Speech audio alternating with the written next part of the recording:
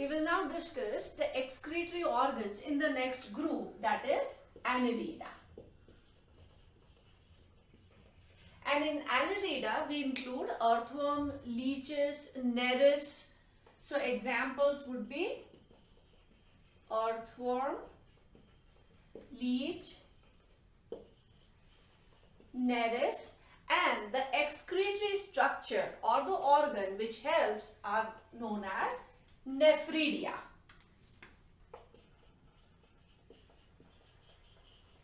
Now these nephridia, they are of different types. We'll see that a little later. Let us first understand the structure of this. So when we are talking of a nephridium, it has a, funnel-like opening. This funnel-like opening is known as nephridiostome and it is lined with cilia. So this is the opening funnel-like and it is known as nephridiostome. Normally this nephridiostome, it lies in the coelomic cavity. It leads into a narrow tube which is known as the neck. So this narrow tube is called neck and then there's a long tube which is highly coiled. So if we draw this long tube which is highly coiled tube, it is not like simple coil, it is very very coiled tube. We are just drawing a simple coil so that we understand the structure. And it opens out through an opening called nephridiopore. So here we have just shown it in the form of a loop but it is highly coiled. So this opening which is known as nephridiostome, it lies in the coelomic cavity. Through it, the fluid gets filtered and waste is eliminated. This neck and the first part of the tube, they are also lined with cilia so that the fluid which comes here can be conducted forward when the fluid is moving through this tube, at that time absorption takes place. So all the filtrate, the waste which comes here along with water, from here water and important things or important substances get absorbed. So what is collected from the body fluid is waste, water and other substances. So when the fluid passes through this, water, whatever is required gets absorbed, important substances get absorbed and only the waste material reaches up to the terminal part of this tube. And this opening is known as nephridiopore. In case of earthworm, we'll talk about earthworm first. So here in earthworms, three types of nephridia are present. The first are called integumentary.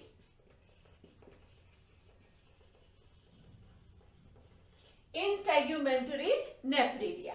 And as the name tells us, they are attached on the skin. So, they are found on all segments except the first two first and second. So first, second and the last one which has the anal opening. So in all segments on the skin which we call the integument there are these nephridia which are found and all of them they open out. That means if this is the skin then here would be the opening of this nephridiopore. That means they eliminate or remove the waste directly outside the body and that is why they are known as ectonephric. Ectonephric means they remove the waste outside the body. Remove waste outside the body. That means they open on the skin and they remove it completely outside. That's why they are called ectonephric. The second type of nephridia which are found in earthworms are known as septal nephridia. This was integumentary, these are septal. We know that in case of earthworm's body, the complete body is divisible and there are these kind of septa which divide the body into compartments. So these nephridia are present on either side of the septa. That means they would be on this side also and this side also. But they start from the 15th segment. So suppose if this is the 15th segment, on this septum it would be present only on one side, then 16th segment on both the sides, 17 on both the sides and so on. So these are found from 15th segment to last and they are found on either side of the septum. on either side of the septa except for the 15th one 15th septum it is going to be present only on the only on one side which is facing towards the 16th segment and they collect the waste from again the body fluid and they pour this waste into alimentary canal that means this nitrogenous waste is not directly being put out of the body. They are known as enteronephric. So, enteronephric. They collect the waste from the body fluid and put it into the alimentary canal. So, waste is collected and poured into digestive system. That means they are enteronephric. The third type of nephridia which are found in earthworms are known as pharyngeal nephridia. Pharyngeal nephridia. And as the name tells us, they are found around pharynx. These nephridia, they are found in clusters.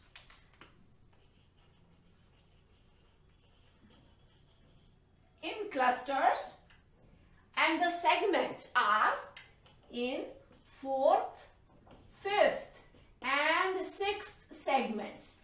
And the reason why these segments, because this is the region where the pharynx is present. So around the pharynx, these nephridia, they are present in clusters. And they are found in fourth, fifth and sixth segment. They also collect the waste from the body cavity and pour this waste into alimentary canal. That means they are also enteronephric. So out of three nephridia, one is ectonephric which is going to pour the waste material or throw the waste material directly outside the body whereas two that is septal and pharyngeal ones are enteronephric. They are going to collect the waste from the body and pour that waste into alimentary canal and then it gets eliminated from the body. So in earthworm we divide these uh, nephridia, classify them on the basis of their location also plus where are they going to pour that waste material inside the body or outside. Only one is ectonephric that is the integumentary one and integumentary are found in all the segments all over the skin except the first and the second uh, segment anterior first and second and last segment which is the anal segment.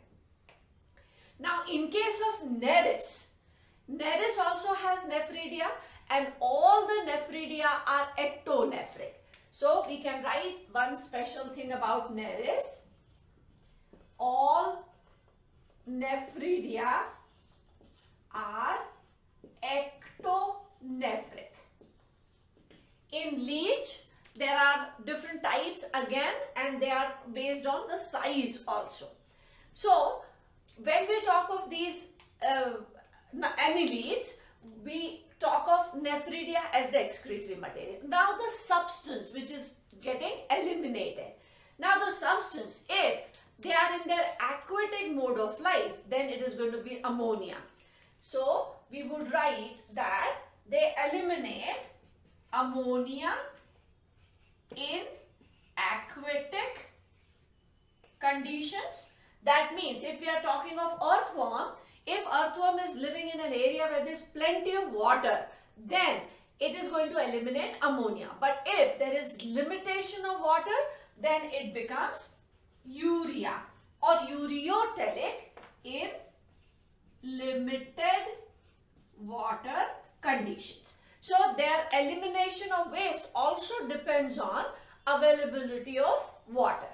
So they are ammoniotelic if sufficient water is available. They are ureotelic when the water is not available in plenty. And the structure is the nephridium.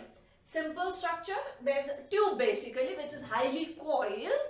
There is an opening which is lined, it is a funnel-like opening lined with cilia. Anterior tube that is neck region is also lined with cilia so that the fluid can be conducted. And at the end of that tube there is an opening which is called nephridiopore. It may open directly on the skin so that the waste can be eliminated outside or it can open and make a common duct and finally open into the alimentary canal or digestive system so that this waste can be eliminated with the undigested food. So structure, one thing which we have remember, we have to remember is that this loop which we have drawn is not simple loop, it is a highly coiled tube which is present in nephridia. So this is what is seen in case of annelids. Now the next uh, group which we would take up would be arthropods.